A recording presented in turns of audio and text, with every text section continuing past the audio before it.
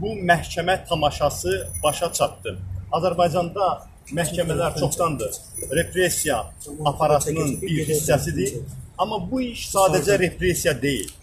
Bu iş göstərdi ki, ümumiyyətlə Azərbaycanda ədalət mühakiməsi məhkəmə yoxdur. Bu gün Azərbaycan Respublikası Ali Məhkəməsində AXCP-yə maliyyə yardımında ittiham olunan Salih Rüstəmli, AXCP-nin Nərimanov şöbəsinin sədri Babək Həsənov və rəyasət heyətinin üzvü Aqil Məhərrəmlinin işinə baxılıb. Ali Məhkəmə ilkin instansiyanın qərarını dəyişməyib. Salih Rüstəmlinin üzərindəki narkotika satışı ittihamı götürülərək 7 il 1 ay müddətinə azadlıqdan məhrum etmə cəzası saxlanılıb.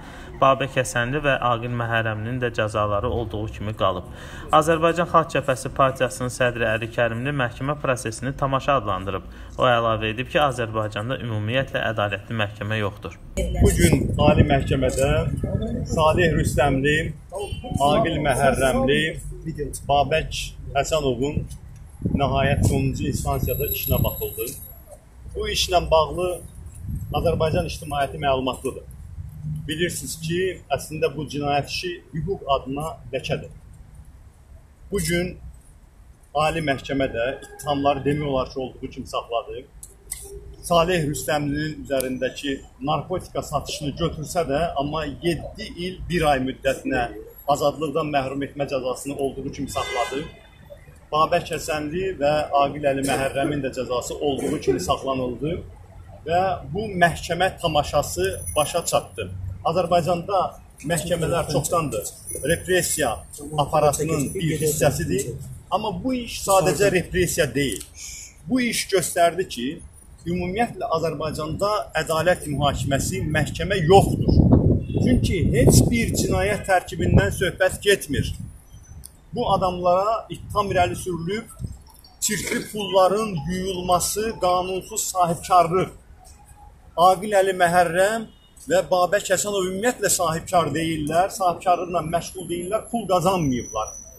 Qaz sahibkarlıq yoxdursa, qazanc yoxdursa, çirkli pulların yuyulması yoxdursa, necə bir ittiham irəli sürülə bilər?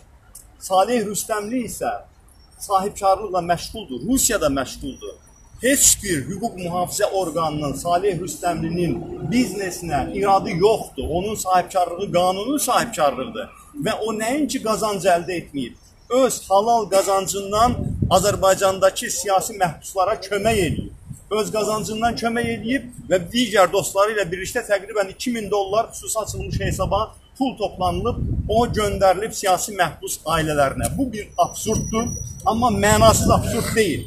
Bu məhkəmə hökmü Azərbaycan hakimiyyətinin bu rejimin ilk növbədə Qarabağa, Qarabağ döyüşçülərinə, bütövlükdə vətənpərvərliyə münasibətidir. Çünki hal-hazırda məhkum olunan 3 nəfərdən ikisi Qarabağ uğrunda savaşın adlı sanlı nümayəndələridir. Salih Rüstəmli Başkənd əməliyyatının əsas təşkilatçısı olub. Məhz onun hesabına biz o az saylı qələbələrdən birini əldə etmişik. Babək Həsənli 2 dəfə ağır yaralanıb, amma döyüşləri tərk eləməyib, illərlə savaşıb Azərbaycan torpaqları uğrunda. Bu gün Azərbaycan hakimiyyəti onlara divan tutmaqla Qarabağa da, Qarabağ qazilərinə də münasibətini ortaya qoyur.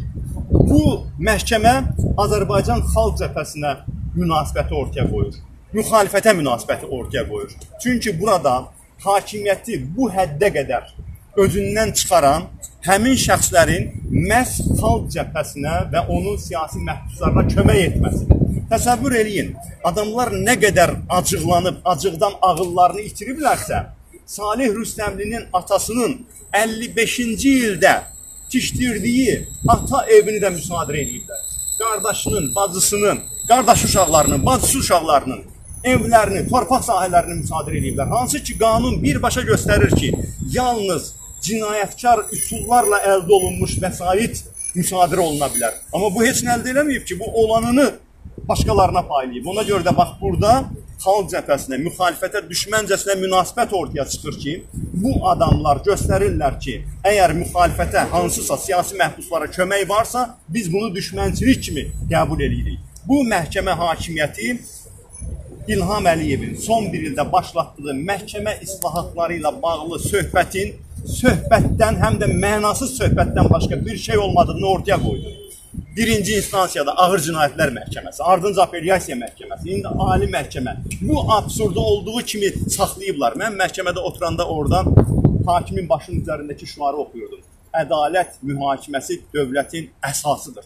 Necə bunu utanmadan başlarının üzərinə asırlar orada? Hanı ədalət mühakiməsi Azərbaycanda? Vəkillər, mən burada fürsətdən istifadə edib təşəkkür eləmək istəyirəm hörmətli vəkillərə. Fəxrəddin Mehdiyev, Məhruz Bayramov, Cavad Cavadov bugünkü iclasda iştirak eləmirdi. Aqil Layic necə fundamental şəkildə ciddi hüquqi əsaslarla sübut edirlər ki, ortada cinayət tərkibi yoxdur, cinayət əməli yoxdur. Bu adamlar əslində nümunə olası adamlardır. Bu adamlar həm vətənpərvərliyinə görə, Qarabağa münasibətinə görə, həm də ədalətinə münasibətinə görə haqsız yerə həbs olunan insanlara boğazından kəsib kömək elədiyinə görə Azərbaycan cəmiyyəti üçün nümunə olan insanlardır, amma bu insanları şərləyiblər, həbs ediblər və bu həbsləri ədalət mühakiməsi adından həyata keçirdirlər. Azərbaycanda bütün proses başa çatdı. Artıq Avropa məhkəməsinə gediləcək. Bizim mübarizəmiz davam eləyəcək, amma Azərbaycan cəmiyyəti aldanmamalıdır. Ölkədə heç bir ədalət mühakiməsi, məhkəmə islahatı həyata keçirilmir. Ölkədə məhkəmə hakimiyyəti yoxdur.